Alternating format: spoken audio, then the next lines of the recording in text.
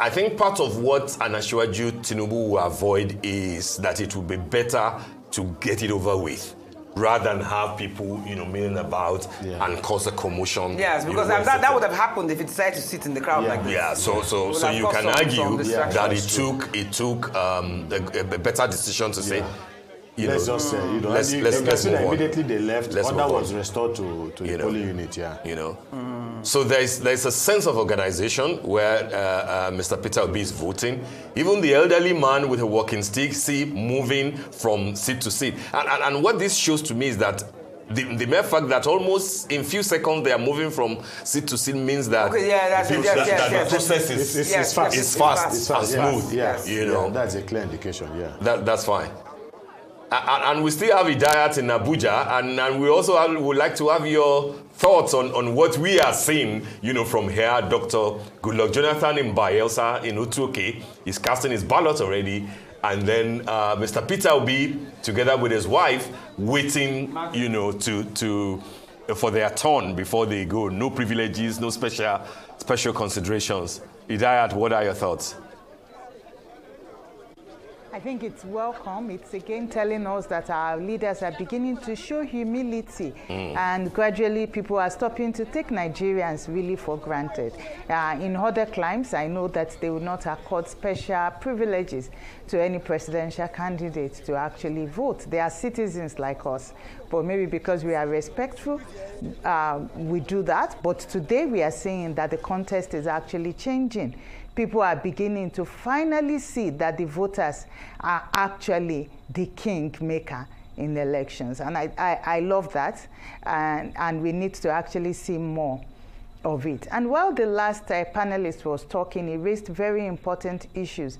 I think some of the things to add in these elections is that finally it is an open race because the Buhari 12 million votes that has, he has consistently gotten uh, from 6 million up to his 12 million since uh, 2003 when he started uh, vying in a presidential race is now up for grab with no certain person inheriting it. That vote belonged to him as Buhari. He added like 3 million. former president of the Federal Republic of Nigeria. I was just told by my colleague that you're also former vice president. So you, well, you just performed your civic duty here at uh, Otuoke, Ward 13, Unit 39. There was a bit of delay. What are your observations about this process? Uh, first, let me thank all of you that are involved in the electoral process. Uh, the election, the, uh, the INEC staff, the media people, the security, and the government for where we have reached. Uh, so, sometimes things look so easy, but practically it seems a bit difficult. But I'm happy that at least I have voted. I was a bit worried when I got here by 8.30 and there was nobody.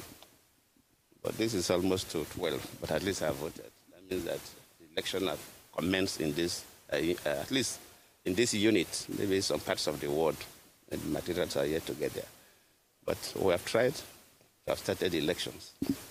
My wish for Nigeria is for us to conduct a peaceful election. And for us who are politicians, our conduct matters a lot. And I always tell politicians that, look, yes, you can win election through unorthodox means, just like using violence to win elections or buying votes and so on. But when you do that, you are behaving like an armed robber or a con man. Armed robber makes money through robbery, but everybody knows that it's an armed robber.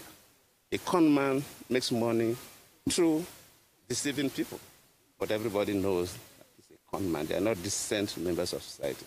Politicians are supposed to be decent members of society.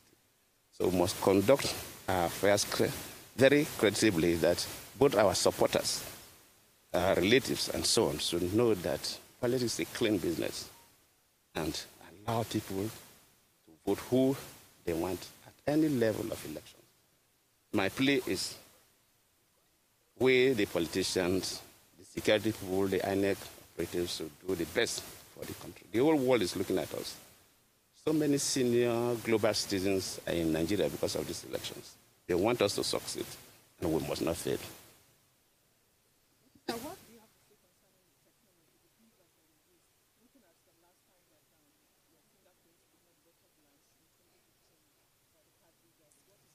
Yes, uh, the BVAS is improvement on the card reader. And I believe it will be better than the card reader. I don't think we are moving backward. We may still have some issues. It's technology. Even your, um, your phone, you have problems with your phone. Even if you buy one of the best smartphones, sometimes you still have problems. So I'm not expecting that your country, that the BVAS machines will work perfectly, but it's a significant improvement. And at least uh, there's an attempt to improve on the methodology. The only thing I request from INEC is that in terms of distributing materials, this should improve on that. Because it appears they are using the same method to distribute materials.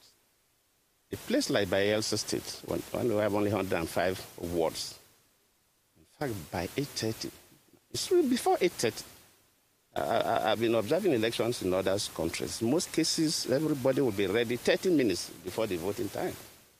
Everybody will be ready, including the brothers who vote. Everybody will queue waiting just for that time based on the law. But here, to 12 before we vote, that is not acceptable. Uh, Your Excellency, you always stand uh, on the path of peace, non-violent elections, and that's you're known around when you go around Africa and the world to preach this message during elections. What is your advice to whoever loses and whoever wins? We've all said so. Remember, some three days ago, during the uh, National Peace uh, uh Accord, where the candidates and the parties signed uh, the commitment for peaceful elections. I would have been there physically, but I was in Bamako and I was a bit trapped. But my speech was read by Bishop Kukah, and all of us advised in the same way that look, elections must be peaceful, and that politicians should know that they don't own this country, and nobody's political ambition is worth the blood of any Nigerian. Not at all. People should not begin to think, oh, I have money, I'm contesting as governor, I'm contesting as senator, I'm contesting as president, so people will die because you want to be president or you want to be governor. No. Totally unacceptable. And we must imbibe that. You'll be a president. Look, after I was a deputy governor from deputy to president, that is eight years in Yenagoa another eight years in Abuja, but I'm back as a, an ordinary citizen.